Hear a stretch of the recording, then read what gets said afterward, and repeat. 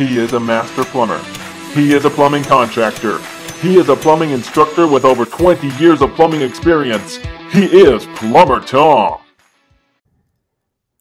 Alright, so in plumbing, we deal a lot with a right triangle that has two 45 degree angles. And you might be wondering, where does this number 1.414 even come from?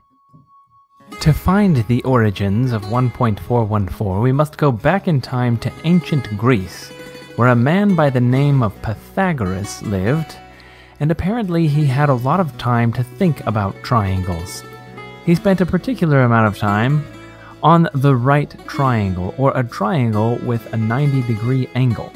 As Pythagoras studied this triangle, he discovered that if he were to multiply each of the sides by itself, or square the side, the area of the two smaller sides, when added together, would equal the area of the diagonal side of the triangle. Pythagoras found this to be true with every right triangle he tried it on, regardless of its shape or size.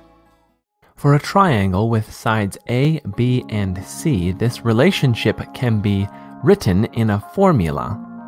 A times A plus B times B equals C times C, or in other words, A squared plus B squared equals C squared. We refer to this as the Pythagorean theorem. Now, back to our right triangle with two 45 degree angles. It is important to note that this triangle has two shorter sides which are the same length. This is only true for a triangle with two 45 degree angles. Now, to find the origin of 1.414, we will need to use the Pythagorean theorem on a triangle with two 45 degree angles. What if we were to say the two shorter sides are each one unit in length? Let's use the Pythagorean theorem and solve for the diagonal c. Remember, the Pythagorean theorem states that a times a plus b times b equals c times c. For our triangle, this would mean 1 times 1 plus 1 times 1 equals c times c. Since 1 times 1 is 1, we have 1 plus 1 equals c times c. 1 plus 1 equals 2, so 2 equals c times c. To find c, we take the square root of 2. If we take the square root on one side of the equation, we must also take the square root of the other. This would be the square root of c times c, giving us c all by itself.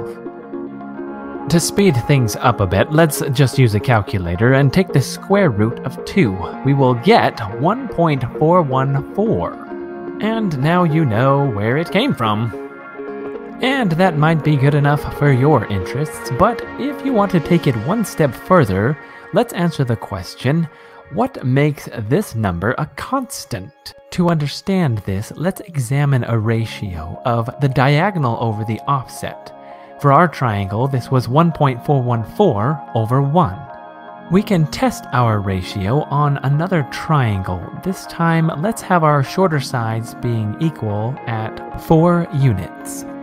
Once again, we will begin with the Pythagorean theorem, a times a plus b times b equals c times c. For us, on this triangle, 4 times 4 plus 4 times 4 equals c times c. 4 times 4 is 16, so we have 16 plus 16 equals c times c. 16 plus 16 is 32, so we have 32 equals c times c. We will then take the square root of both sides of the equation, and to solve for c, we will take the square root of 32, which equals 5.657. Now that we have our diagonal, we can take that 5.657 and divide it by 4 in the ratio we examined before. Amazingly, this comes out to 1.414 or 1.414 over 1. This is our constant. This means that no matter what the size of the triangle, if it has two 45 degree angles, the diagonal will always be 1.414 times the offset. So now you know the whole story of Pythagoras, his theorem, and the origins of 1.414.